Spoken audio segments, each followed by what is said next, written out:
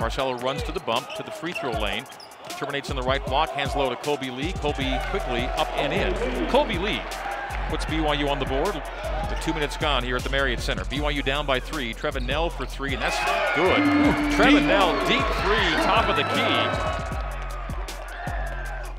Cougs have not led in this game. Backdoor from Haarms to Barcello to Knell for the lead. Three. Got it. Left corner. Trevin Knell with his second three. And the Cougs have their first lead of the game now at 10 to 9.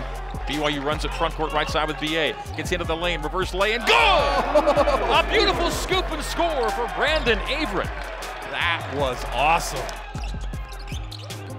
Averette takes a bump, gets right to the rim, and again, Brandon Averette driving and scoring until halftime. BYU by a game high four, 15 to 11.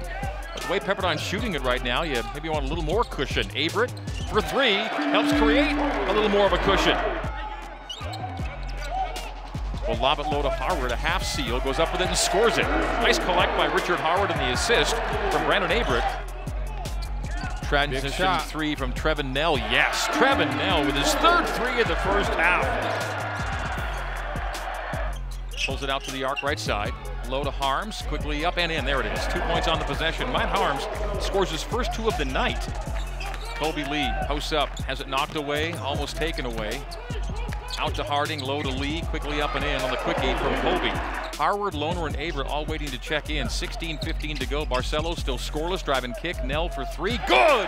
Trevin Knell has been the salvation at the three-point line tonight. To the trailer, Averette. Averette will drive, teardrop it, and score it. Brandon Averette with 15 points to lead BYU.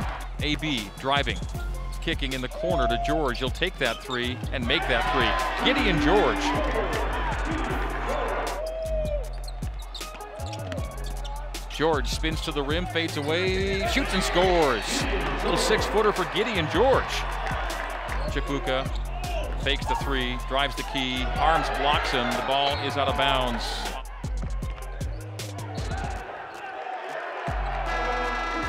Barcello wing right, AB pulls it out to the arc, terminates, hands to Haarms, Haarms harassed near the free throw shoot. line, shoots with two, and oh! made it! with two on the shot clock, a long two! For Matt Haarms. Wow.